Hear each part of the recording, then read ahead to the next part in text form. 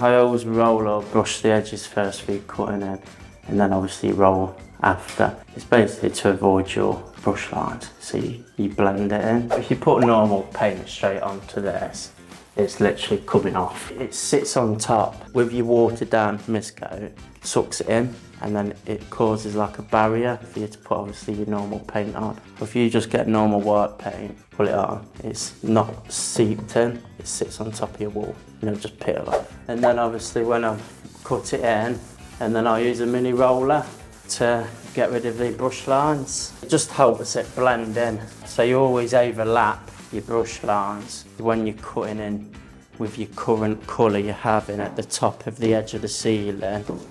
Once you've brushed it, always roll it with a mini roller and it just helps hide any brush lines better. You just want it to dry like natural. I did this second coat on these walls. If you put like a heater literally right up next to it, it'll dry out too quick and just crack. Always ceiling first, then you do your cutting on all your walls. Roll it all, undercoat your woodwork, and then satin wood. Never do your ceiling after your walls. Obviously, when you cut in and you're rolling, you get all the splatter, and it'll end up getting on all your fresh walls, and then you've got to redo your walls. Is there ever a time you would want to paint the skirting boards first? No, never do it. If I'm waiting for the walls to dry, or I wanted to get into another room a bit quicker, I would undercoat the woodwork, wouldn't satin wood it, because obviously that's your final finish where you undercoat, that's just to give it a good base basically. I'll get my brush, obviously I'll load the paint onto the wall away from it first. My favourite is ProDec, which is what brewers have given me to use.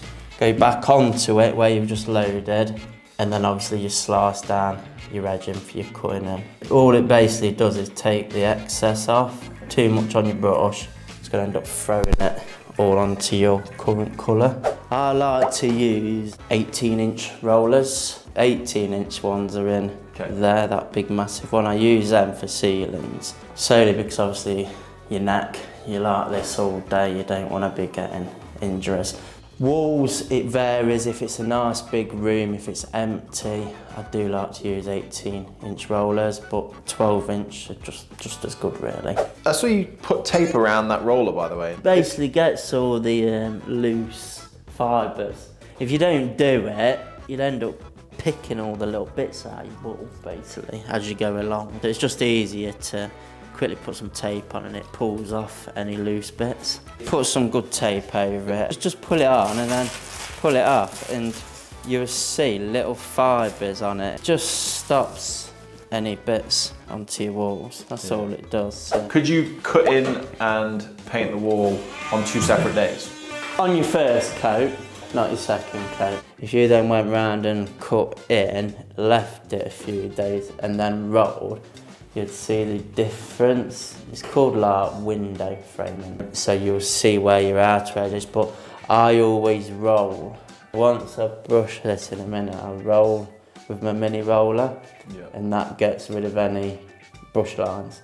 And then when you roll with your big roller, it all matches and blends in. So with, with your mist coat, you want to try and just cover every general position possible. When you're painting your actual colours. Cutting first as you normally do and then mini roller the cutting lines. And then when you put your paint on as long as you obviously go from top to bottom afterwards just to level everything out you've got no issues. It's when you start trying to skip things and do it really fast then you can miss bits and it can look uneven. Obviously I have an extendable mini roller which can get all the way to the back of your ra old radiators. But with the new design, a lot of them now, for the modernising, have gaps all the way through. So with your long extendable mini roller, you can actually get all the way through from both sides and diagonal.